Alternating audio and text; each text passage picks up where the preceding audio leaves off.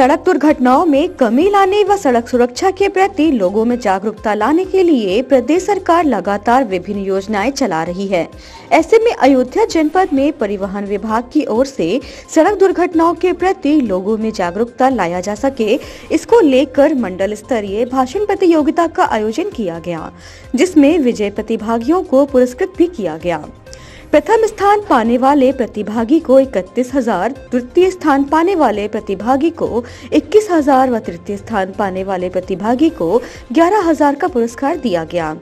कार्यक्रम में बतौर मुख्य अतिथि शिरकत कर रहे नगर विधायक वेद प्रकाश गुप्ता ने माँ सरस्वती के चित्र के समक्ष दीप प्रज्वलित किया। तो वहीं विजयी प्रतिभागियों के भी सम्मान किया गया। वहीं विधायक वेद प्रकाश गुप्ता ने कहा कि भाजपा सरकार ने सड़क दुर्घटनाओं में कमी लाने के लिए लगातार कार्यक्रम आयोजित कर रही है, जिसके कारण लोगों में जागरूकता लाई जा सके।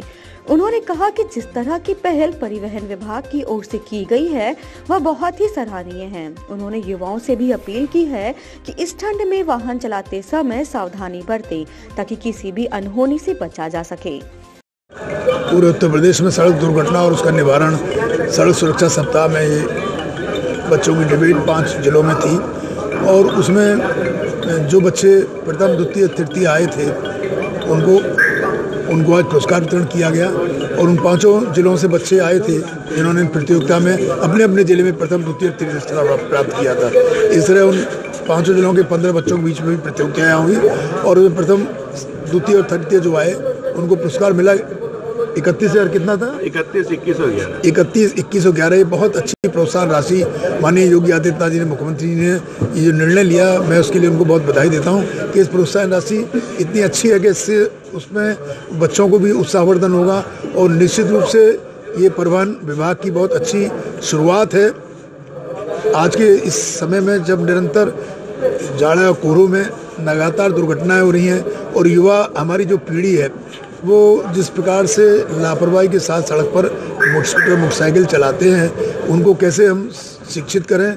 उनको कैसे परिवहन के नियमों का पालन कराएँ?